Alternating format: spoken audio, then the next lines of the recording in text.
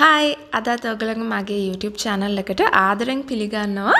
අද මං අරන් ආවේ රසම රස පුඩින් රෙසිපි එකක්. මේක pineapple and jelly පුඩින් එකක්. අපේ ගෙදර අය ඔක්කොම මේ පුඩින් එකට කැමති වුණා. ඒකින් හින්දා මං ඔයගලන්ට එක්ක මේක අද share කරගන්න යන්නේ. අපි ඉස්සෙල්ලා බලමු අපිට ඉස්සෙල්ලාම ඕන වෙන ingredients ටික මොනවාද කියලා.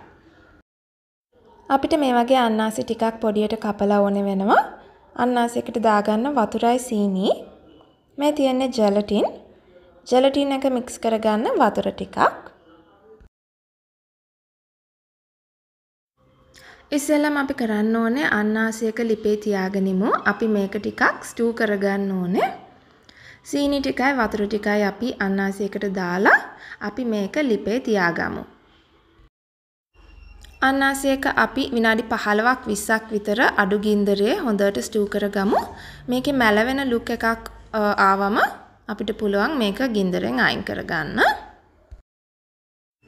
අන්නාසියක ස්ටූ වෙන ගමන් මං තව පෑන් එකක් අරගෙන ඒකට දාගන්නවා කන්ඩෙන්ස්ඩ් මිල්ක් කෑන් එකක්. කෑන් එකට තව වතුර එකා මාරක් දාලා අපි ඒකත් පෑන් එකට එකතු කරගමු.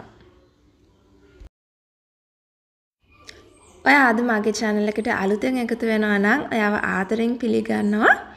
මේ වගේ තව රස රෙසිපීස් බලන්න කැමති නම් මගේ YouTube channel එකට subscribe කරන්න.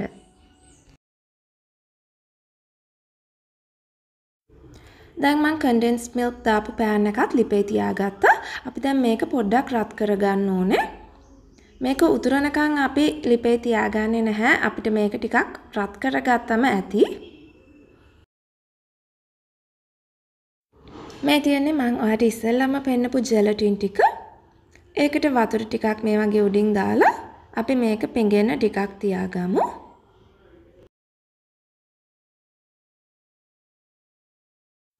මගේ අන්නාසික දැන් විනාඩි 20ක් විතර ස්ටූ වුණා. ඉතින් මේක දැන් මැලවිලා තියෙන්නේ. දැන් මම මේක ලිපෙන් අයින් කරලා හොඳටම නිවෙන්න පැත්තකින් තියලා තියෙනවා.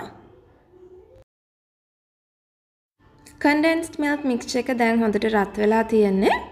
ඉතින් උතුරන්නේ නැහැ ඔයාට පේනවා ඇති. ඒ වෙලාවට ඔයාට පුළුවන් ඒක ලිපෙන් අයින් කරගන්න.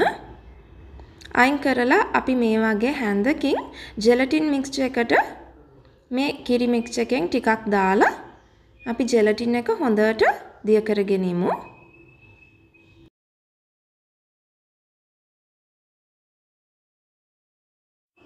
හොඳට දිය වෙලා තියෙන ජෙලටින් එක දැන් අපි ජෙලටින් මික්ස්චර් එකෙන් ටික ටික දාලා කිරි එක ආයෙ මික්ස් කරගමු.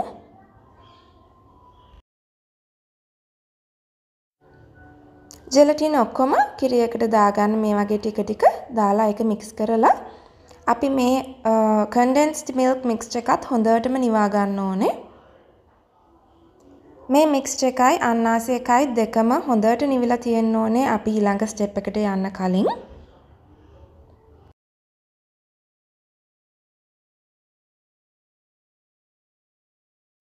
දැන් මේ දෙකම හොඳට නිවිලා තියෙන්නේ පොඩ්ඩක්වත් රස්නේ නැහැ. ඒ වෙලාවට මං අන්නාසියක කිරි මික්ස්චර් එකට දාගන්නවා. අන්නාසියකේ ටිකක් ජූස් එක වගේ තියෙනවා ඔයගලන්ට පේනවා ඇති. ඉතින් අපි මේ දෙක හොඳට මික්ස් කරගමු.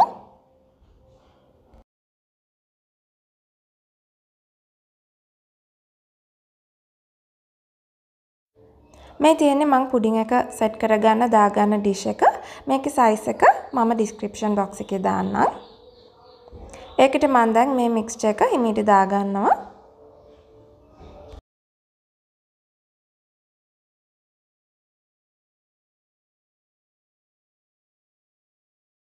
මික්ස්චර් එක දාලා මේ වගේ ටිකක් අන්නාසි ටික හැමතැනටම යන විදිහට මික්ස් කරගන්න.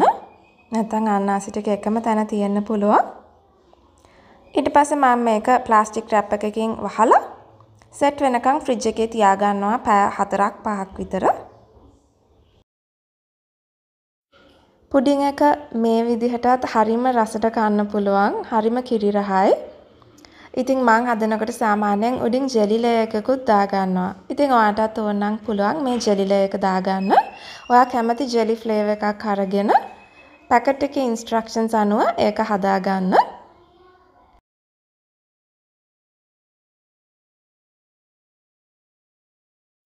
මේ ජෙලි එක මං හදාගන්නේ පුඩින් එක ෆ්‍රිජ් එකට දාලා පැය 3ක් 4ක් විතර ගියාට පස්සේ එතකොට අපේ පුඩින් එක සෙට් වෙලා තියෙන්නේ. දැන් පැය 5ක් විතර ගියා. ඉතින් ජෙලි එකත් හොඳට නිවිලා තියෙන්නේ. දැන් අපිට පුළුවන් ජෙලි එක පුඩින් එක උඩින් මේ වගේ දාගන්න. මේ ජෙලි එක උඩින් දාගත්තම රස වැඩි වෙනවා විතරක් නෙමෙයි මේකට ලස්සන ලුක් එකකුත් එනවා. ඉතින් ඕගොල්ලෝ ගෙදර පාටි එකක් වගේ තියෙන වෙලාවට මේ ජෙලි ලේ එකත් අනිවාර්යෙන් දාගන්න.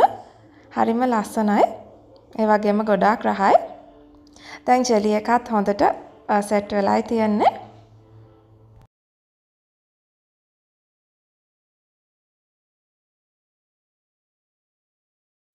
පුඩින් එක කපලා අපි කෑල්ලක් කාලා බලමු රස කොහොමද කියලා.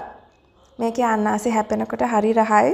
ඉතින් කන්ඩෙන්ස් මිල්ක් දාලා තියෙන හින්දා කිරි රහත් හොඳට තියෙනවා. ඔයයි ඔයාගේ පවුලේ අයයි මේකට අනිවාර්යෙන් කැමති වෙයි. මේ ක්වොන්ටිටි එකෙන් පීසස් 10ක් 12ක් හදා ගන්නත් පුළුවන්. ඔයාගේ පාවිච්චි කරන ඩිෂ් එක අනුව. ඉතින් මේ ඩිෂ් එකේ හදාගත්තොත් පීසස් 10ක් විතර හදා ගන්නත් පුළුවන්.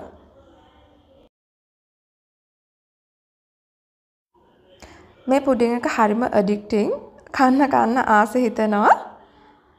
ඉතින් මේක melt in your mouth texture එකක් තියෙන්නේ හරීම soft. මේ වගේ තව රෙසිපි එකක් අරන් මම ඔයගොල්ලන්ව ආයෙ හම්බෙන්නම්. එහෙනම් අදට ගිහිල්ලා එන්නම්. bye.